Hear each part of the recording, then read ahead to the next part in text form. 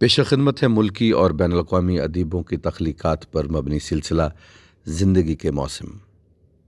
अफसाना सुनिए, आपा, तहरीर मुमताज़ मुफ्ती।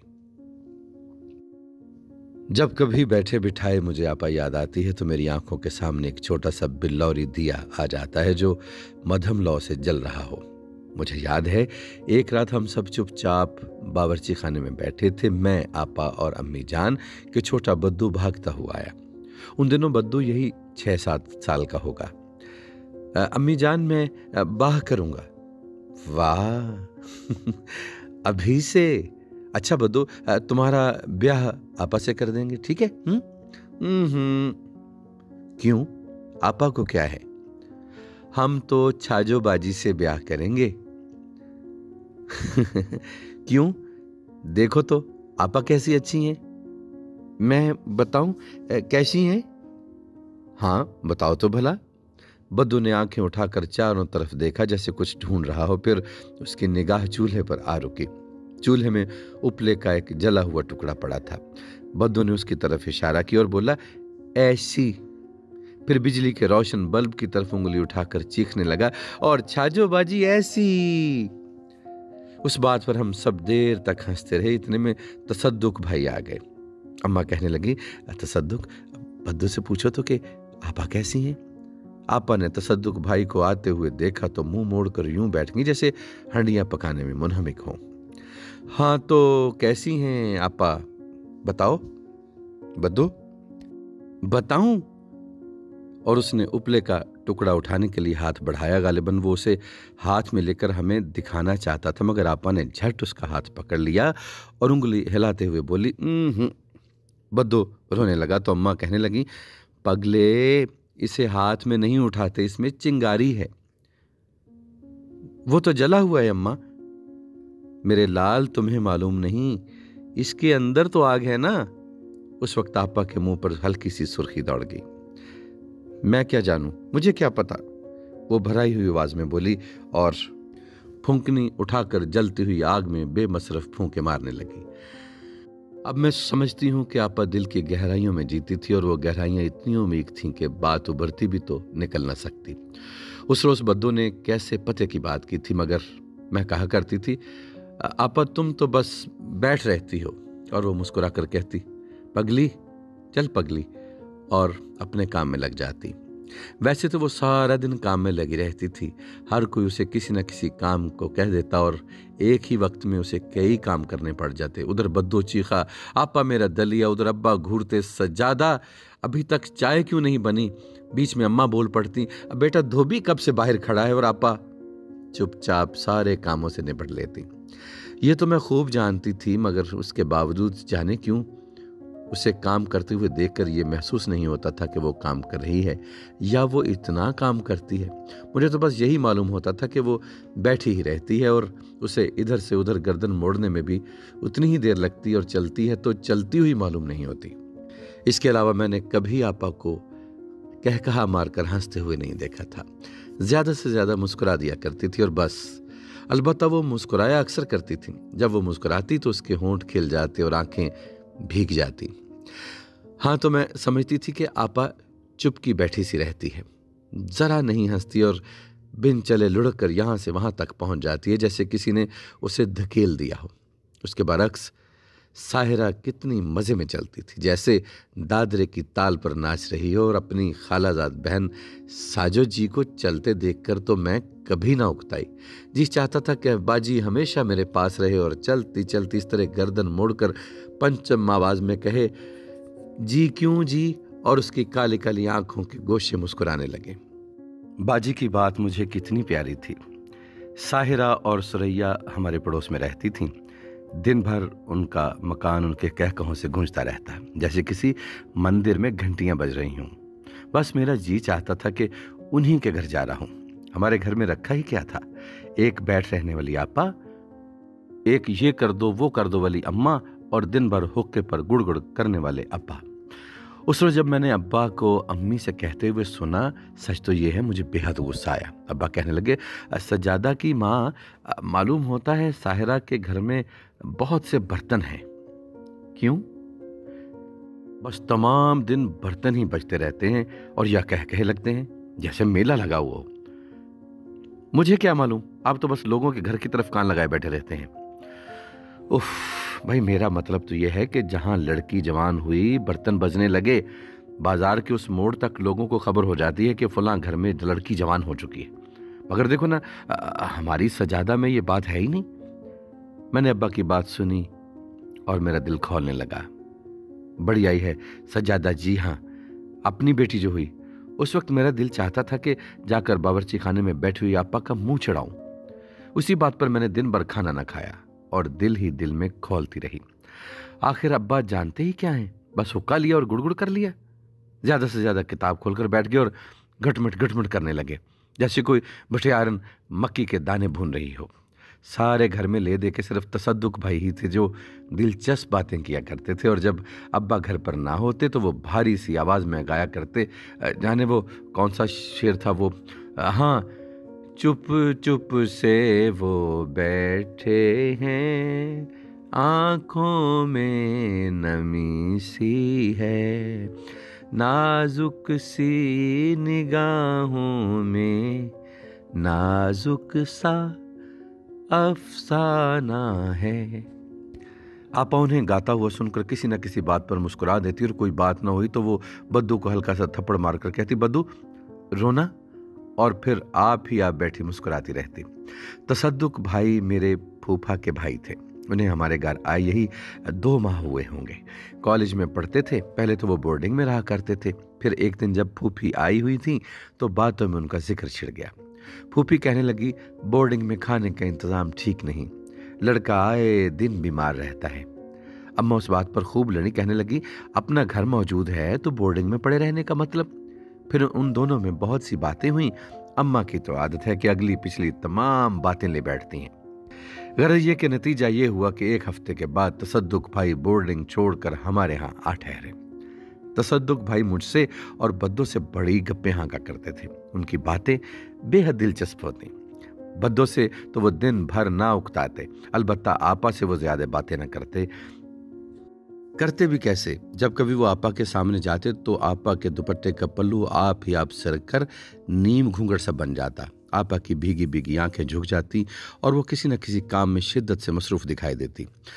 अब मुझे ख्याल आता है कि आपा उनकी बातें गौर से सुना करती थी। वो कहती कुछ ना थी। भाई साहब भी बद्दों से आपा के मुतालिक पूछते रहते, लेकिन सिर्फ़ उसी वक्त जब वो दोनों अकेले होते पूछते बद्दो तुम्हारी आपा क्या कर रही हैं? आपा बद्दो लापरवाही से दोहराता बैठी है बुलाऊं? भाई साहब घबरा कर कहते, नहीं नहीं नहीं नहीं नहीं अच्छा बतो, आज तुम ही ये देखो, उस तरफ़ तुम्हें दिखाएँ? और जब बद्दो का ध्यान इधर उधर हो जाता तो मध्यम सी आवाज़ में कहते, अरे यार, तुम तो ढंढोरवा हो, ढंढोरवा। क्या हूँ मैं? उस पर वो मेज बजाने लगते। डगमग डगमग, ढंढोरा, यानी ये ढंढोरा है। देखो, जैसे ढोल होता है। डगमग डगमग, समझे? और आप अक्सर चलते चलते उनके दरवाजे पर ठहर जाती और उनकी बातें सुनती रहती और फिर चूल्हे के पास बैठकर आप ही आप मुस्कुराती। उस वक्त उसके सर से दुपट्टा सिरक जाता। बालों की लट फिसल कर गाल पर आकर गिरती और वह भीगी भीगी आँखें चूल्हे में नाचते हुए शोलों की तरह झूमती। आपा के होंठ यूँ हिलते गोया, गा रही हो मगर अल्फाज सुनाई न देते। ऐसे में अगर अम्मा या अब्बा बावर्ची खाने में आ जाते, वो ठिठक कर यूँ अपना दुपट्टा बाल और आँखें संभालती गोया, किसी बेतकल्लुफ महफिल में कोई बेगाना गुस्सा हो। एक दिन मैं, आपा और अम्मा बाहर सहन में बैठी थी। उस वक्त भाई अंदर अपने कमरे में बद्दों से बातें कर रहे थे। मेरा ख्याल है, भाई को यह मालूम नहीं था कि हम बाहर बैठे हुए उनकी बातें सुन रहे हैं। भाई साहब बद्दो से कह रहे थे, मेरे यार, हम तो उससे ब्याह करेंगे जो हमसे अंग्रेज़ी में बातें कर सके, शतरंज, कैरम और चिड़िया खेल खेल सके। और सबसे ज़रूरी बात यह है कि हमें मज़ेदार खाने पका कर खिला सके, समझे? हम तो छाजोबाजी से ब्याह करेंगे हम्म। बद्दो चीखने लगा। मैं जानता हूँ तुम आपा से ब्याह करोगे। हाँ उस वक्त अम्मा ने मुस्कुरा कर आपा की तरफ़ देखा, मगर आप अपने पाँव के अंगूठे का नाखून तोड़ने में इस कदर मसरूफ थी, जैसे कुछ खबर ही ना हो।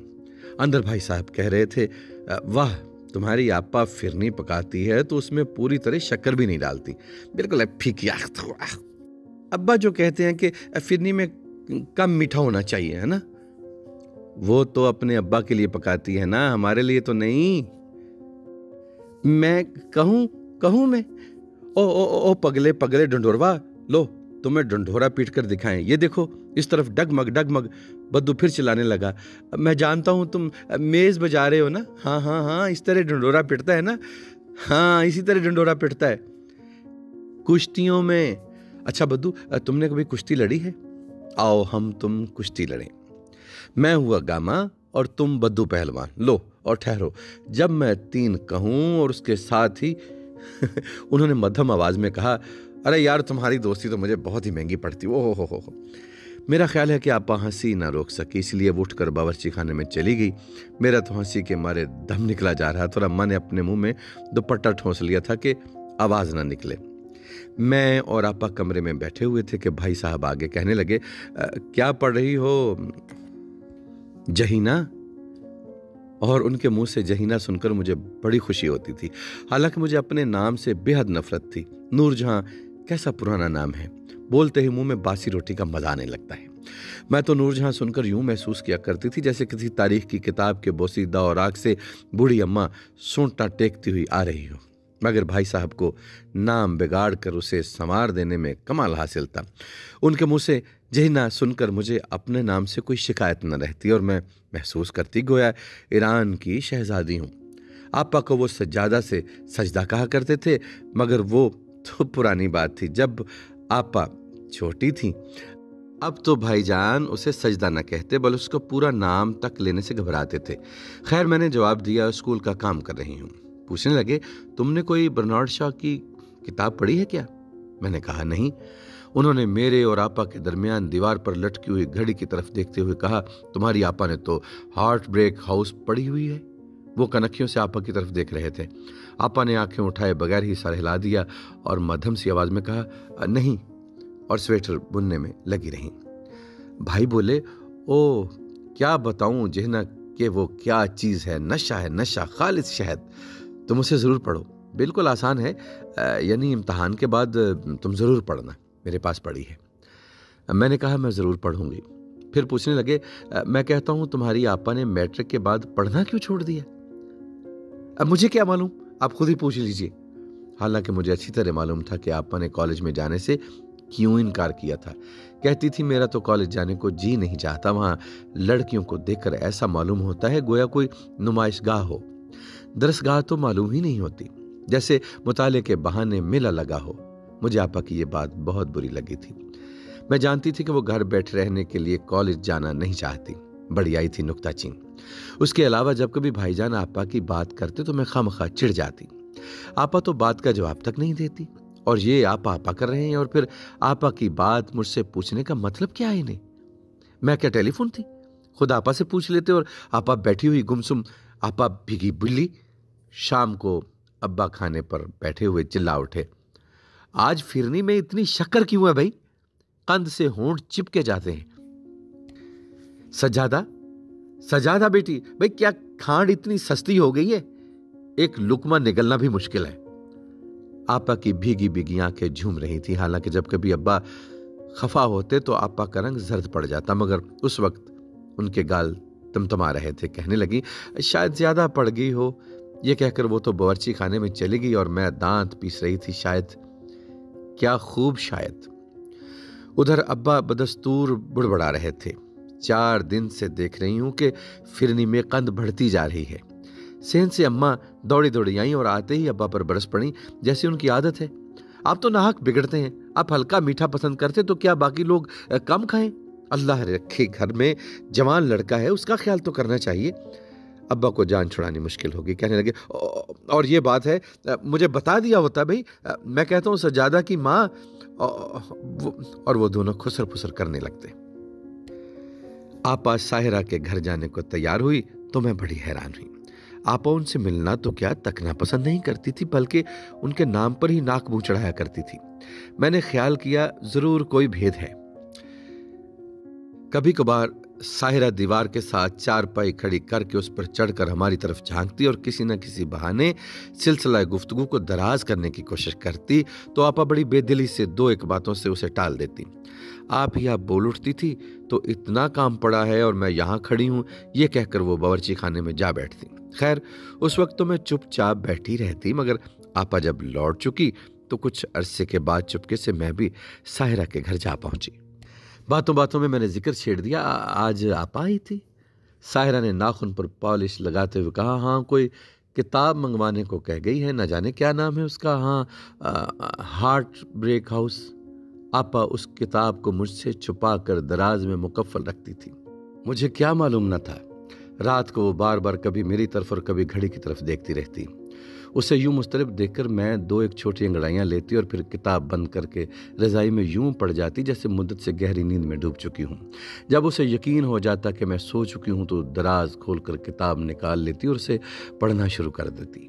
आखिर एक दिन मुझसे रहा ना गया तो मैंने रज़ाई से मुँह निकाल कर पूछ ही लिया, आप ये हार्ट ब्रेक हाउस का मतलब क्या है? दिल तोड़ने वाला घर।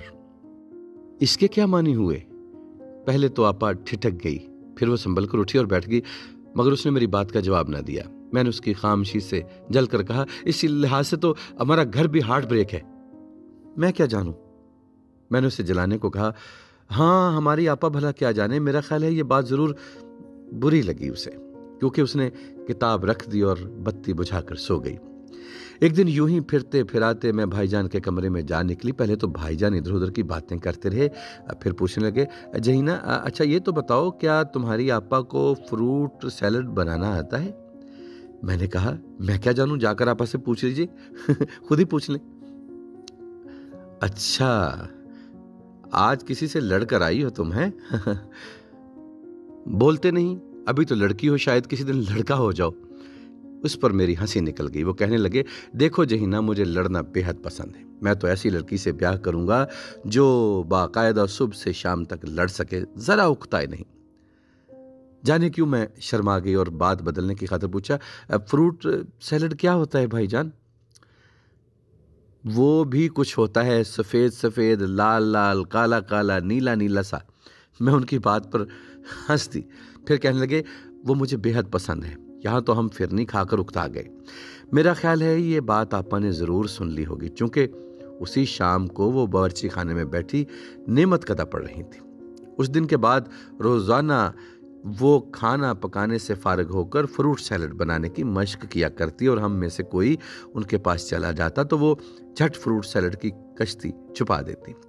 एक रोज़ आपा को छेड़ने की खातर मैंने बद्दू से कहा, बद्दू बूझो तो वो कश्ती जो आपा के पीछे पड़ी है उसमें क्या है? बद्दू हाथ धोकर आपा के पीछे पड़ गया, हत्या कि आपा को वो कश्ती बद्दू को देनी ही पड़ी। फिर मैंने बद्दू को और भी चमका दिया। मैंने कहा, बद्दू, जाओ तो भाईजान से पूछो उस खाने का क्या नाम है? बद्दू भाईजान के कमरे की तरफ़ जाने लगा तो आपा ने उठकर वो कश्ती उससे छीन ली और मेरी तरफ़ घूर कर देखा। उस रोज पहली मरतबा आपा ने मुझे यूँ घूरा था। उस रात आपा शाम ही से लेट गई। मुझे साफ़ दिखाई देता था कि वो रजाई में पड़ी रो रही है। उस वक्त मुझे अपनी बात पर बहुत अफसोस हुआ। मेरा जी चाहता था कि उठकर आपा के पाँव पड़ जाऊँ और उसे खूब प्यार करूँ, मगर मैं वैसे ही चुपचाप बैठी रही और किताब का एक लफ्ज तक न पढ़ सकी। उन्हीं दिनों मेरी खालाजाद बहन साजिदा, जिसे हम सब साजोबाजी कहा करते थे, मैट्रिक का इम्तहान देने के लिए हमारे घर आ ठहरी। साजोबाजी के आने पर हमारे घर में रौनक आ गई। हमारा घर भी कह कहों से गूंज उठा। साहिरा और सरैया चार पाइयों पर खड़ी होकर बाजी से बातें करती रहती। बद्दो छाजो बाजी छाजो बाजी चीखता फिरता और कहता, हम तो छाजो बाजी से ब्याह करेंगे। बाजी कहती, शक्ल तो देखो अपनी, पहले मुँह धो आओ। फिर वो भाई साहब की तरफ़ यूँ गर्दन मोड़ती कि काली काली आँखों के गोशे मुस्कुराने लगते और वो पंचम तान में पूछती है ना भाईजान? क्यों जी? बाजी के मुँह से भाई जान कुछ ऐसा भला सुनाई देता कि मैं खुशी से फूल ही न समाती। उसके बरक्स जब कभी आपा भाई साहब कहती तो कैसा भथा मालूम होता है? वो वो वाकई उन्हें भाई कह रही और फिर, साहब, जैसे हल्क में कुछ फंसा हुआ हो, मगर बाजी साहब की जगह जान कहकर वो उस सादे से लफ्ज़ में जान डाल देती। जान की गूंज में भाई दब जाता और ये महसूस ही ना होता कि वो उन्हें भाई कह रही हो। इसके अलावा भाई जान कहकर वापसी काली काली चमकदार आँखों से देखती और आँखों ही आँखों में मुस्कुराती तो सुनने वाले को कतई ये गुमान तक ना होता कि उसे भाई कहा गया है। आपा के भाई साहेब और बाजी के भाई जान में कितना फ़र्क है। बाजी के आने पर आपा का बैठ रहना बिल्कुल बैठ रहना ही रह गया। बद्दो ने भाईजान से खेलना छोड़ दिया। वो बाजी के गिर तवाफ करता रहता और बाजी भाईजान से कभी शतरंज, कभी कैरम खेलती। बाजी कहती भाईजान एक बोर्ड लगेगा? या भाईजान बाजी की मौजूदगी में बद्दो से कहते क्यों मियाँ, बद्दू? कोई है जो हमसे शतरंज में पिटना चाहता हो? बाजी बोल उठती आपस से पूछिए। भाई कहते, और तुम? बाजी झूठ मूठ की सोच में पड़ जाती। चेहरे पर संजीदगी पैदा कर लेती, भमे सिमटा लेती और तेवरी चढ़ाकर खड़ी रहती। फिर कहती मुझे तो आप पिट जाएँगे। भाईजान खिलखिलाकर हंस पड़ते और कहते, कल जो पिटी थी भूल गई क्या? वो जवाब देती, मैंने कहा, चलो भाईजान, चलो चलो भाईजान का लिहाज कर दो, वरना दुनिया कहेगी कि मुझसे हार गए। और फिर यूँ हंसती जैसे घुंघरू बज रहे हों। रात को भाईजान बावर्ची खाने में ही खाना खाने बैठ गए। आपा चुपचाप चूल्हे के सामने बैठी थी। बद्दो छाजो बाजी छाजो बाजी कहता हुआ बाजी के दुपट्टे का पल्लू पकड़े उसके आसपास घूम रहा था। बाजी भाईजान को छेड़ रही थी, कहती थी, भाईजान भाई जान तो सिर्फ़ साढ़े छः फुलके खाते हैं। इसके अलावा फिरनी की प्लेट मिल जाए तो कतई मजायका नहीं। करें भी क्या, ना खाएँ तो ममानी नाराज़ हो जाएँ। उन्हें जो खुश रखना हुआ, है ना भाई जान हम सब इस बात पर खूब हंसे, फिर बाजी इधर उधर हिलने लगी और आपा के पीछे जा खड़ी हुई। आपा के पीछे फ्रूट सैलड की कश्ती पड़ी थी। बाजी ने ढकना सरका कर देखा और कश्ती को उठा लिया। बेशतर इसके के आपा कुछ कह सके, बाजी वो कश्ती भाईजान की तरफ़ ले आई। लीजिए भाईजान, उसने आँखों में हँसते हुए कहा, आप भी क्या कहेंगे? कि साजो बाजी ने कभी कुछ खिलाया ही नहीं। भाईजान ने दो तीन चम्मच मुँह में ठोंस कर कहा खुदा की कसम भाई बहुत अच्छा बना है किसने बनाया है? बाजी ने आपा की तरफ़ कनखियों से देखा और हँसते हुए कहा साजो बाजी ने और किसने भाईजान? भाईजान के लिए? बद्दो ने आपा की तरफ़ गौर से देखा आपा का मुँह लाल हो रहा था। बद्दू चिल्ला उठा के आ, मैं मैं मैं बताऊँ मैं बताऊँ? आपा ने भड़कर बद्दू के मुँह पर हाथ रख दिया और उसे गोद में उठाकर बाहर चलेगी बाजी के कहकहों से कमरा गूंज उठा और बद्दू की बात आई गई हो गई। भाईजान ने बाजी की तरफ़ देखा, फिर जाने उन्हें क्या हुआ? मुँह खोले का खुला रह गया। आँखें बाजी के चेहरे पर गड़ गईं। जाने क्यों? मैंने महसूस किया जैसे कोई ज़बरदस्ती मुझे कमरे से बाहर घसीट रहा हो। मैं बाहर चली आई। बाहर आपा अलगनी के करीब खड़ी थी और भाई साहब ने मध्यम आवाज़ में कुछ कहा आपा ने कान से दुपट्टा सिरका दिया, फिर बाजी की आवाज़ आई छोड़िए। और फिर खामसी छा गई। अगले दिन हम सहन में बैठे थे। उस वक्त भाईजान अपने कमरे में पढ़ रहे थे। बद्दू भी कहीं उधर ही खेल रहा था। बाजी हसब मामूल भाईजान के कमरे में चली गई। कहने लगी, आज एक दंदनाता बोर्ड कर दिखाऊँ, क्या राय है आपकी? भाईजान बोले, वाह, यहाँ से किक लगाऊँ तो जाने कहाँ जा पड़ो। गालिबन उन्होंने बाजी की तरफ़ ज़ोर से पैर चलाया होगा। वो बनावटी गुस्से में चलाई, वाह, आप तो हमेशा पैर ही छुटवाते रहते हैं। भाईजान फ़ौरन बोले तो क्या हाथ से चुप चुप, खामोश? बाजी चीखी, उसके भागने की आवाज़ आई। एक मिनट तक पकड़ धकड़ सुनाई दी, फिर खामशी छा गई। इतने में कहीं से बद्दू भागता हुआ आया, कहने लगा, आपा, अंदर भाईजान बाजी से कुश्ती लड़ रहे हैं। चलो दिखाऊँ तुम्हें। चलो भाई, वो आपा का हाथ पकड़कर घसीटने लगा। आपा का रंग हल्दी की तरह जर्द हुआ जा रहा था और वो बुत बनी खड़ी थी। बद्दू ने आपा को छोड़ दिया। कहने लगा अम्मा कहाँ है? और वो अम्मा के पास जाने के लिए दौड़ा। आपा ने लपक कर उसे गोद में उठा लिया। आओ और उसे बावर्ची खाने में ले गई। उसी शाम मैंने अपनी किताबों की अलमारी खोली तो उसमें आपा की हार्ट ब्रेक हाउस पड़ी हुई थी। शायद आपा ने उसे वहाँ रख दिया हो। मैं हैरान हुई कि क्या बात है, मगर आपा बावर्ची खाने में चुपचाप बैठी थी, जैसे कुछ हुआ ही नहीं। उसके पीछे फ्रूट सैलड की कश्ती खाली पड़ी थी, अलबत्ता आपा के होंठ भिंचे हुए थे। भाई तसद्दुक और बाजी की शादी के दो साल बाद हमें पहली बार उनके घर जाने का इतफाक हुआ। अब बाजी बाजी न थी। उसके वो कह कह भी न थे। उसका रंग जर्द था और माथे पर चिकन चढ़ी थी। भाई कहने लगे, बद्दू साजो बाजी से ब्याह करोगे? हम्म बद्दू ने कहा, हम ब्याह करेंगे ही नहीं। मैंने पूछा, भाईजान, याद है जब बद्दू कहा करता था, हम तो छाजो बाजी से बाह करेंगे? अम्मा ने पूछा आपा से क्यों नहीं? तो कहने लगा, बताऊँ आपा कैसी है?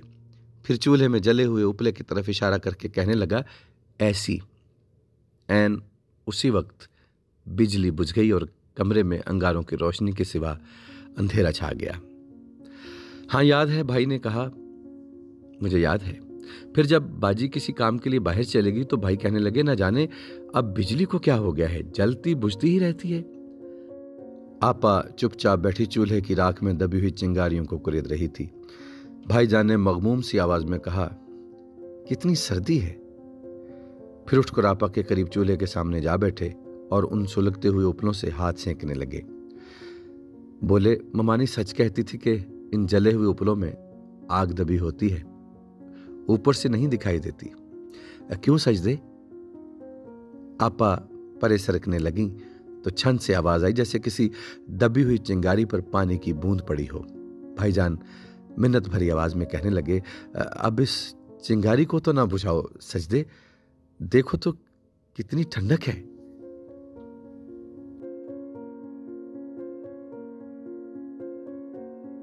अफसाना आपने सुना, आपा।